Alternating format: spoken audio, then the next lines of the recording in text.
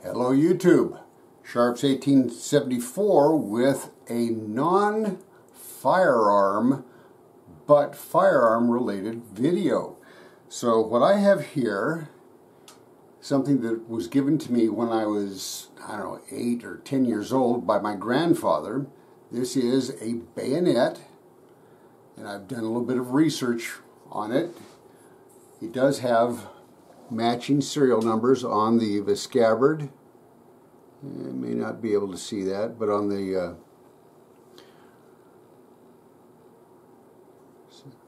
so on the bayonet itself and on the scabbard, matching serial numbers.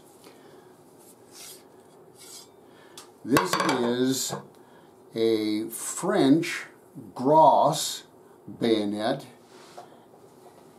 and if uh, we can see what this says. It says manufactured arms in Saint uh, Saint Etienne, the uh, the arm factory, uh, arms manufacturer of, uh, of Etienne, in August of 1879. So we'll look a little bit.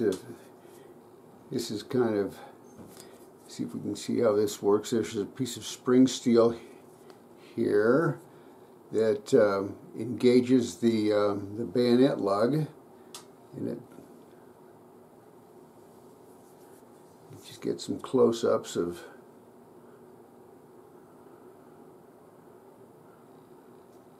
of this.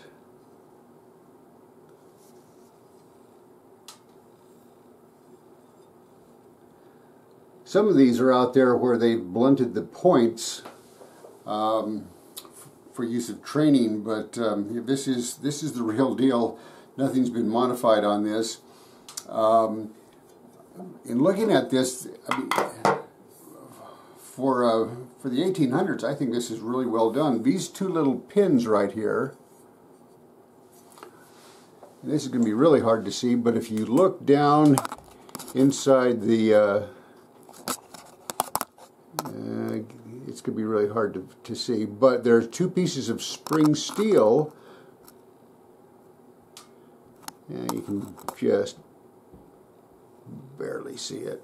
Well, anyway, there are two pieces of spring steel, one on each side, so when you put the bayonet in place, it holds it in place. It's not going to come out. And I don't know if that's, uh, it probably, would, you can see that it starts rubbing right, right there and rubs the entire length. But, um, so this fits on the, the, the Gras rifle, manufactured starting in 1874 through um, into the um, 1880s.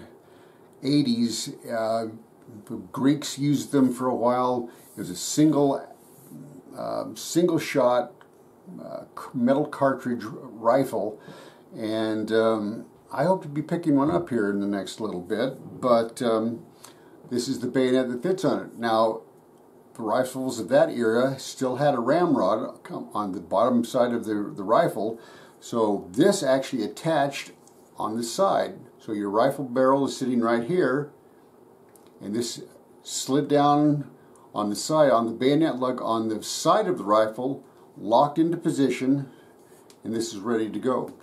As I, as I said, this was the last of the French sword bayonets, and you, can see that if you needed to use this for a weapon other than um, uh, this could be used in hand-to-hand -hand combat, even just for uh, for sticking somebody. But remember, you're seeing it's a single shot rifle. You have to reload. Um, it was a bolt action, the Gras, the 1874 Gras, but uh, bolt action. Anyway, thought this might be interesting to you. I've seen a lot of people online who have sore uh, bayonets similar to this, wondering what it is. Uh, there's a number of different manufacturers, but again, if you want to take a look, it tells you exactly who made it and when.